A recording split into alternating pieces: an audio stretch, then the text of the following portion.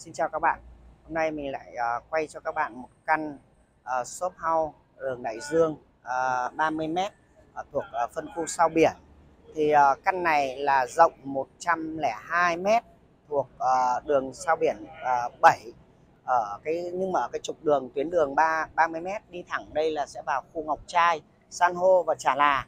À, đi tiếp ra đây sẽ là chúng ta đi vào đường đảo Dừa, à, phân khu đảo Dừa, khu khép kín và sang kia là phân khu Hải Âu thì uh, chúng ta sẽ thấy là dọc cái trục đường này thì uh, chủ đầu tư uh, những cái căn ở ở sát góc này thì uh, là mang tên là đường đảo dừa uh, với diện tích là 102 m và dọc cái trục trục cái đường uh, 30 m này.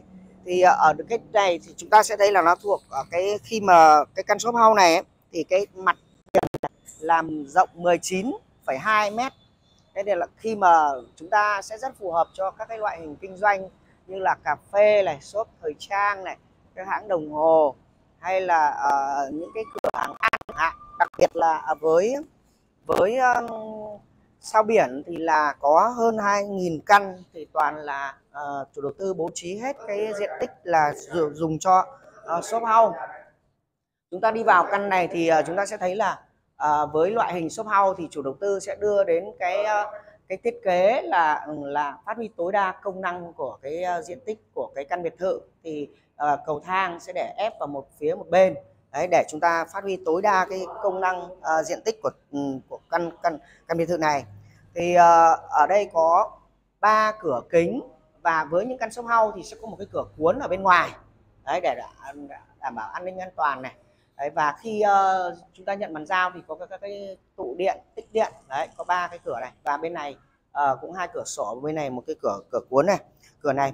Thì đảm bảo làm sao để cái uh, trong quá trình uh, kinh doanh ấy thì cái cái lưu thông uh, cái ra vào nó thuận tiện và cũng là đón ánh sáng tự nhiên.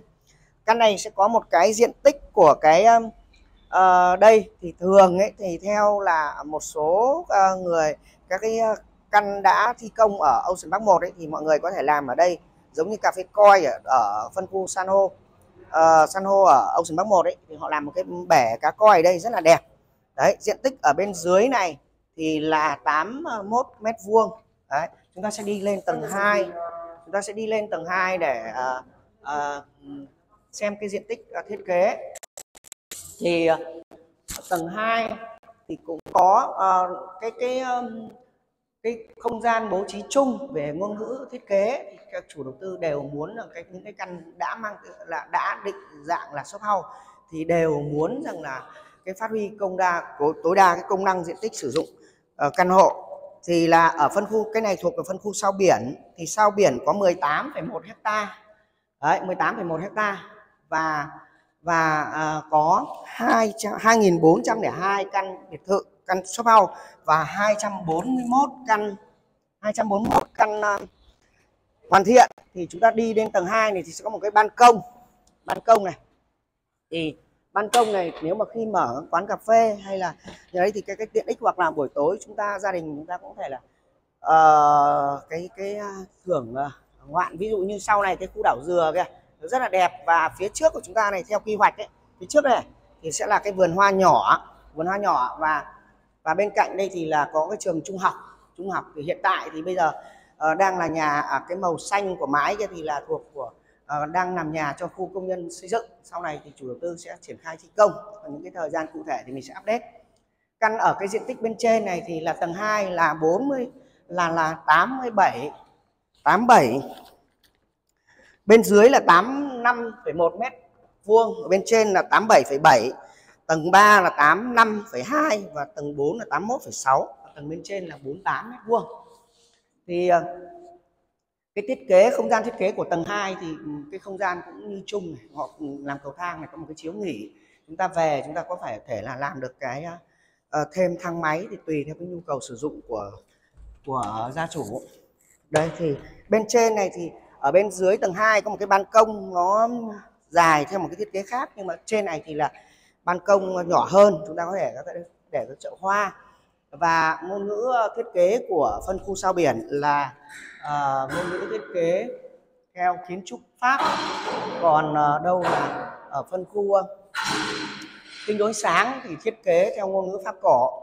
Chúng ta sẽ nắm rõ trong cái này đây thì chủ đầu tư đang đang nhờ những cái dây này thôi chứ còn cũng à, một điều đặc biệt ở căn này ấy thì mình thấy rằng là à, mọi mình mình đi bàn giao ấy, một số cái cái trần này này.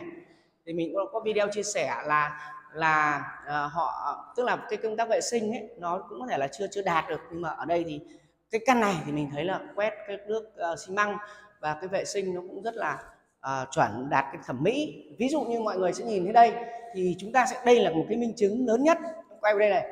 Đấy đây là những cái ghép cốt pha chứ không phải là là chúng ta có có một số cái group là là gọi là tưởng là là bê tông ghép không, không có đâu. Các bạn nhìn đấy đây những cái vết này đấy mình đi đi đi đi đi bàn giao thực tiễn thì mình sẽ sẽ sẽ chia sẻ với các bạn. Đây này thì cái này thì trong cái uh, trong bản vẽ sẽ có và thực tiễn ra thì chúng ta khi chúng ta làm ấy uh, chúng ta sẽ uh, có trần thạch cao đi đường điện đúng không? Uh, cái chỗ này cũng vậy thôi. Cái cái các cái ống thoát nước này này thì thật ra sau này về về là chúng ta đều có cái hộp kỹ thuật chứ cũng không không. Thì chúng ta nhìn bàn giao này trông cho nó, nó phù hợp với chính những cái gì cái cái xây dựng. Đấy thậm chí cũng có những các bạn là những người xây dựng mà các mua những căn ở đây đúng không?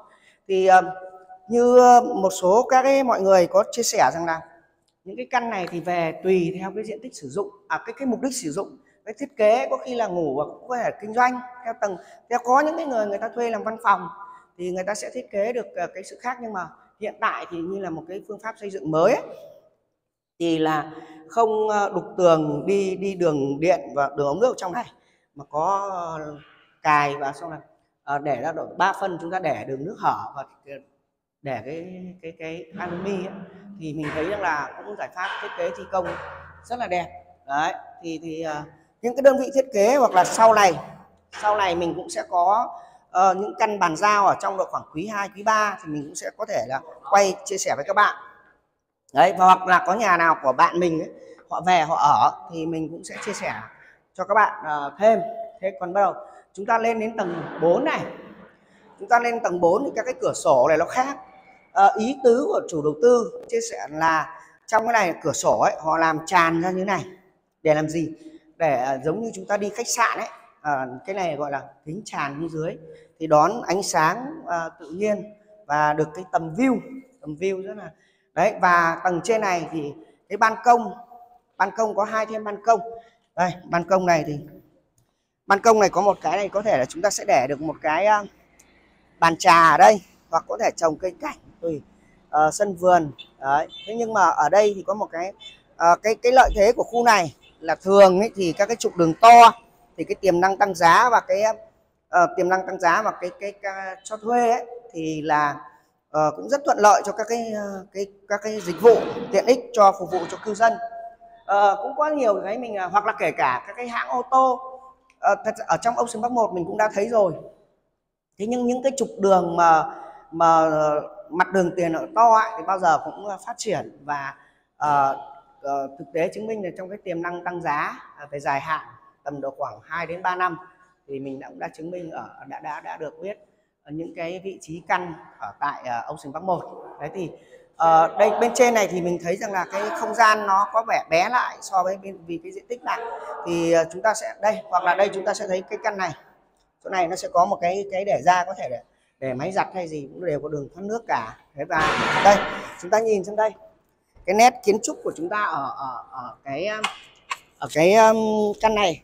Đấy thì sau này ấy thì uh, cũng như mình nói ấy, đây các bạn nhìn đây. Đây là cái trục này.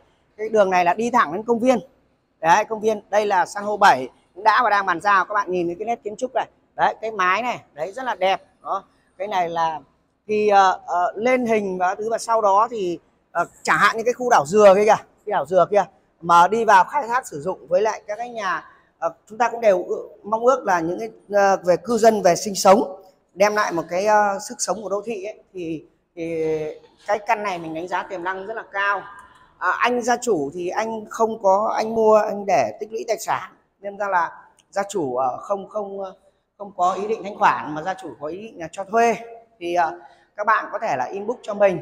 Số điện thoại là 090 115 6856 thì mình sẽ kết nối. Cái này cũng sẽ phù hợp cho các bạn như là làm văn phòng này quán cà phê thời trang.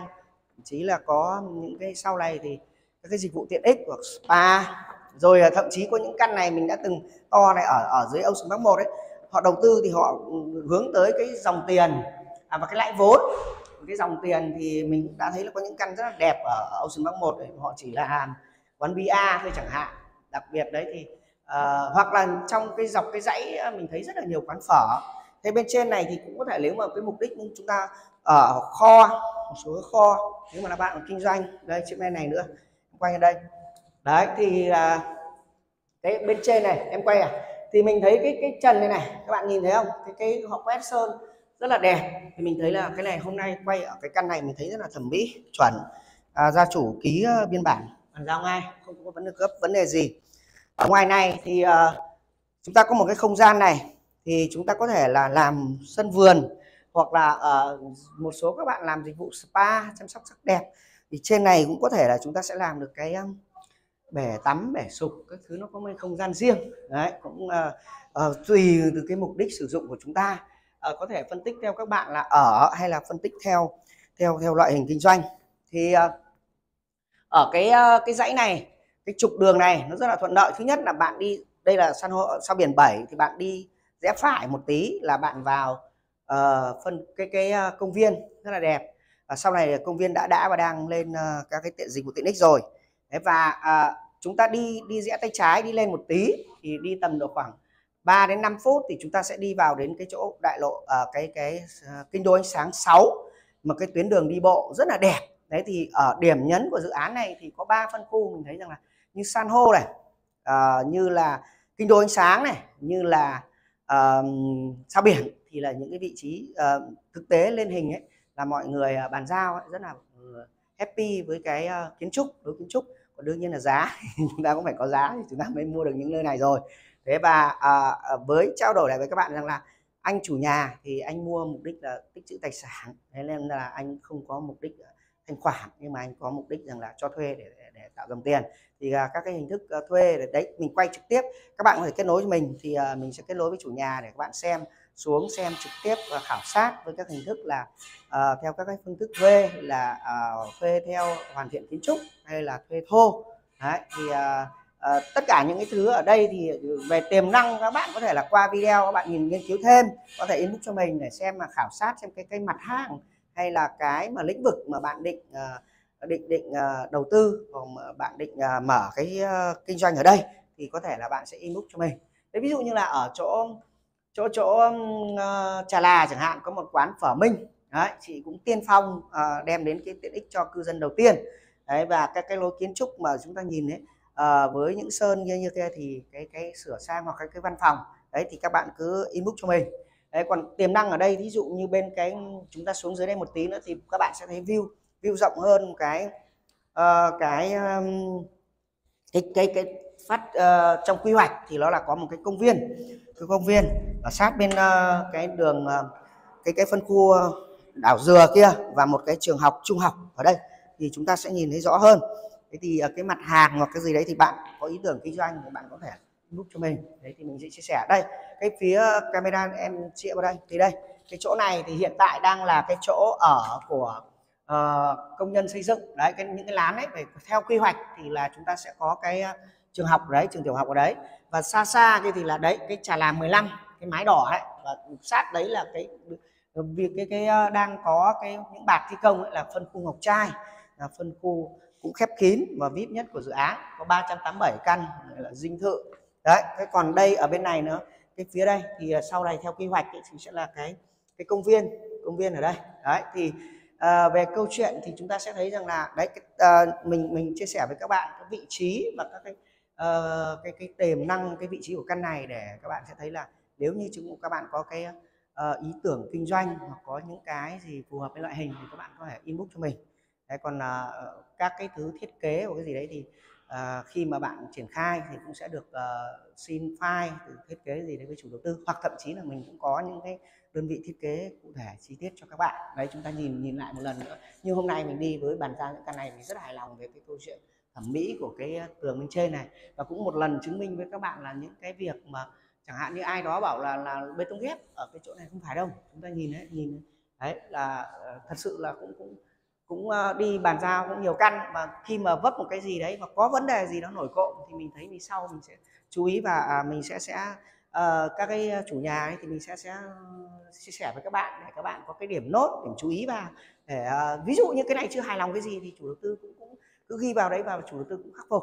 Về cơ bản căn này thì mình thấy là à, cơ bản này chủ nhà cũng rất hoàn à, cũng, cũng hài lòng. Và cơ bản cũng video này mình muốn chia sẻ với bạn đấy anh ấy, anh mua là anh với mục đích tích trữ tài sản và anh ấy có nhu cầu là cho thuê. Thì các bạn cứ tìm hiểu phân tích thị trường hoặc sau này mình cũng sẽ update thêm một số cái ngành nghề một cái dãy đây.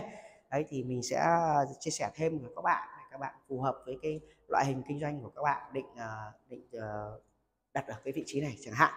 Cảm ơn các bạn đã theo dõi video. Hẹn gặp lại các bạn trong các video sau.